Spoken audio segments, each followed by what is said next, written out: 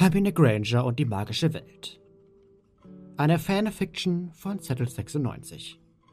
Gelesen vom Mondniffler. Hey, schön, dass du wieder eingeschaltet hast. Wenn du jetzt schon das nächste Kapitel hören möchtest, darfst du sehr gerne Kanalmitglied werden, mich somit unterstützen und viele Shorts, Videos und Fanfictions schon im Voraus schauen und hören. Und nun viel Spaß beim Hören. Jahr 2, Kapitel 15 Dornröschenschlaf Wärme durchdringt mein Körper. Mein Gehirn beginnt wieder zu arbeiten. Langsam beginne ich wieder zu hören. Erst brummt es nur und dann nehme ich gedämpft Stimmen wahr. Mr. Potter, Miss Granger wird doch etwas benötigen, um komplett aus ihrer Versteinerung aufzuwachen. Ziehen Sie sich bitte vorher um. Sie wollen ihr doch sicherlich keinen Schrecken einjagen. Das ist die mir altbekannte Stimme von Madame Pomfrey. Wo bin ich? Was ist passiert? Noch immer sehe ich nichts. Bewegen ist unmöglich. Langsam beginnt es in meinen Gliedern zu kribbeln. Es beginnt bei meinen Zehen und den Fingerspitzen. Und dann zieht es bald durch den gesamten Körper. In meinem Kopf dreht sich alles. Penelope und ich sind aus der Bibliothek zum Quidditchfeld gegangen. Und was ist dann passiert? Dann fällt es mir wieder ein. Gelbe, blitzende Augen. Ich bin tot. Ich habe den Basilisken in die Augen geschaut. Ich bin gestorben. Wann wird sie wieder ansprechbar sein? In gut einer Stunde. Bitte, Mr. Potter, ziehen Sie sich um und gehen Sie zum Fest. Ich schicke Miss Granger dann sofort hinterher. Ich bekomme wieder ein Gefühl in meinen Händen. Ich kenne doch diese Stimme. Harry. Ich bin nicht tot? In Ordnung, sagt Harry weit entfernt. Sie haben wohl recht.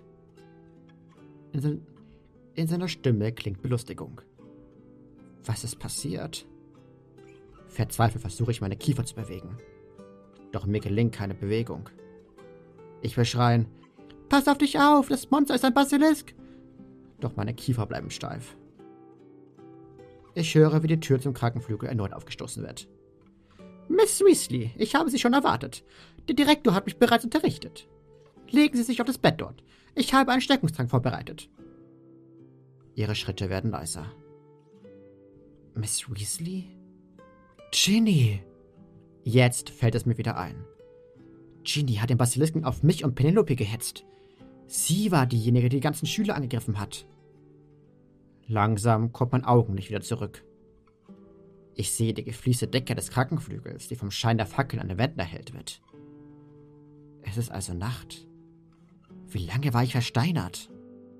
Ich bekomme langsam wieder ein Gefühl in meinen Arm und bewege ihn vorsichtig. Ja, ich bin definitiv nicht tot.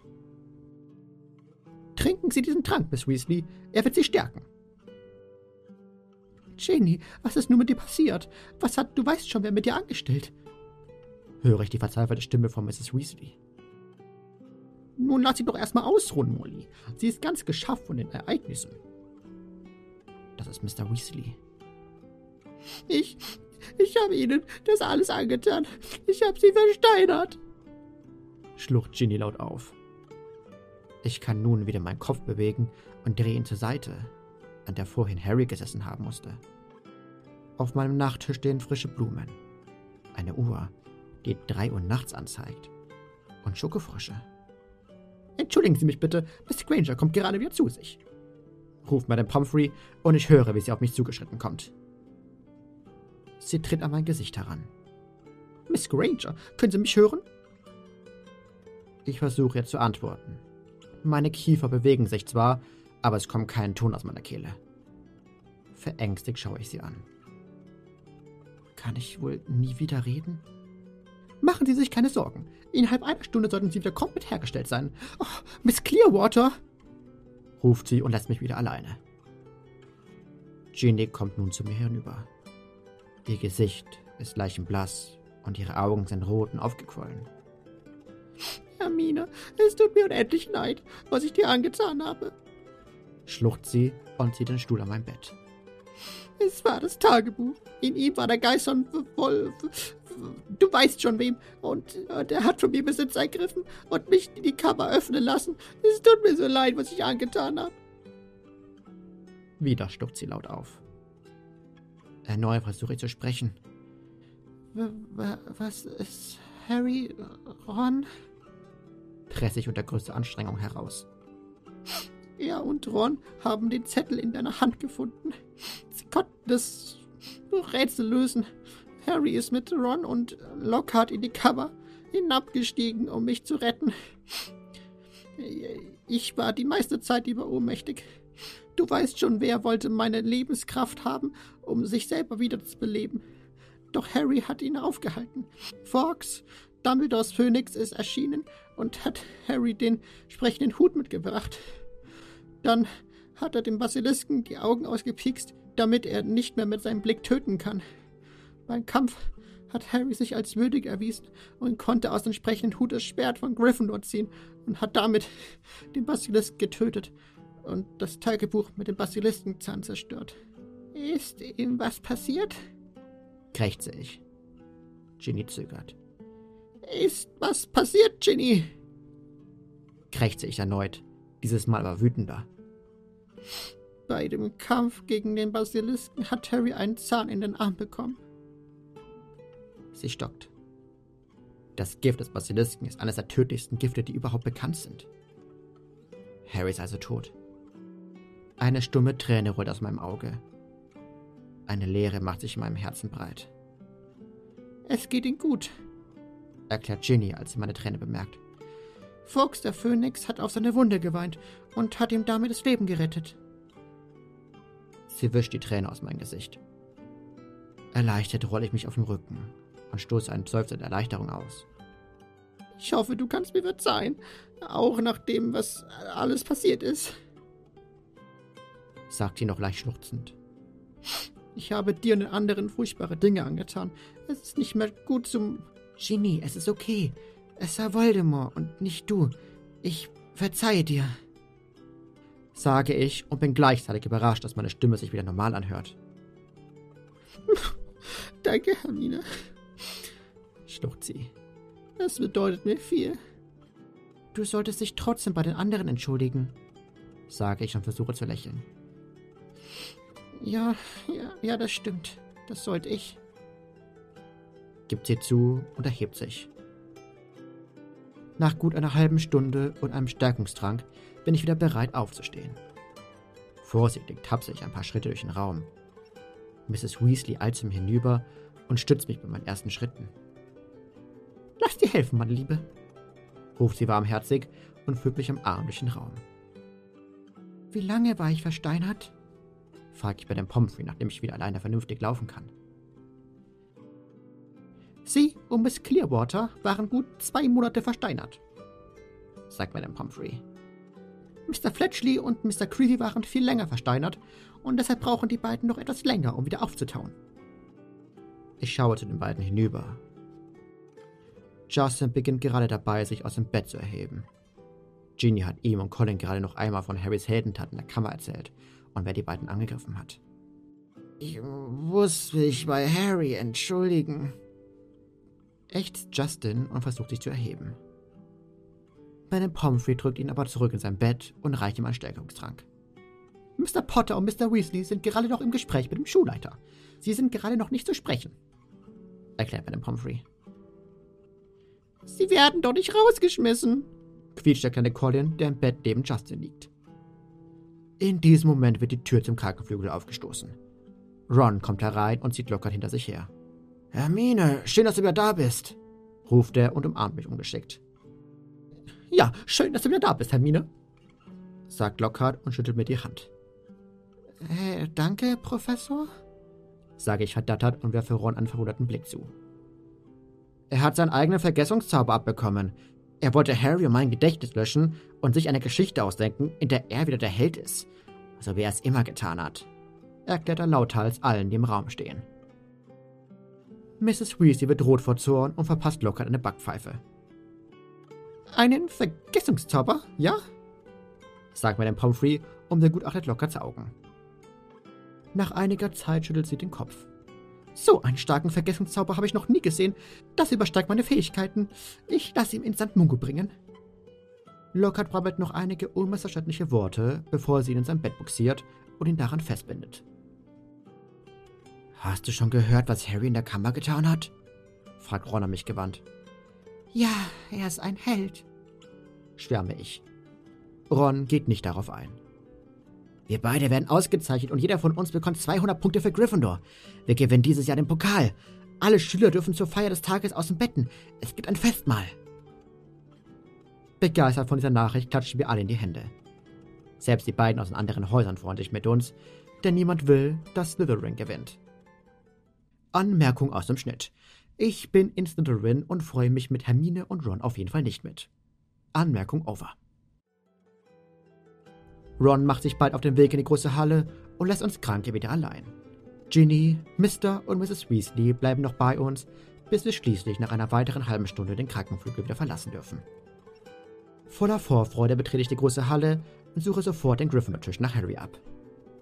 Es dauert nicht lange, dann entdecke ich ihn. Auch ich bin ihm inzwischen aufgefallen und er erhebt sich aus seinem Stuhl. Begeistert laufe ich auf ihn zu. Du hast es gelöst! Du hast es gelöst! rufe ich und springe ihn an.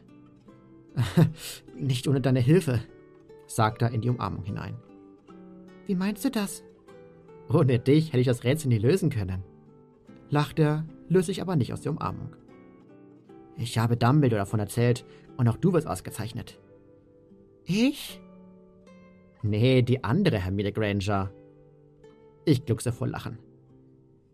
Hinter uns räuspert sich jemand. Ich habe vergessen, wo wir sind, und Harry scheint es nicht anders zu gehen. Schnell lösen wir uns wieder aus der Umarmung.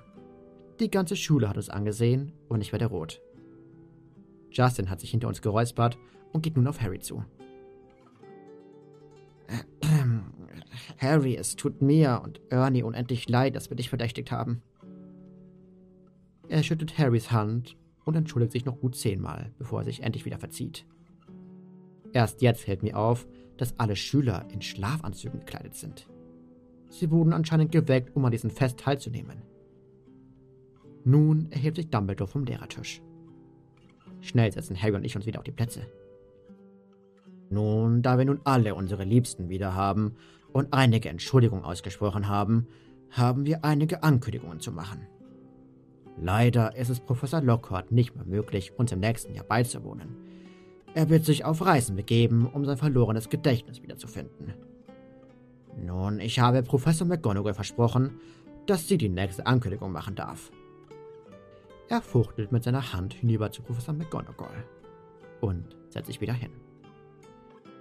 Professor McGonagall erhebt sich und setzt ein Lächeln auf. Noch nie habe ich sie so strahlen sehen.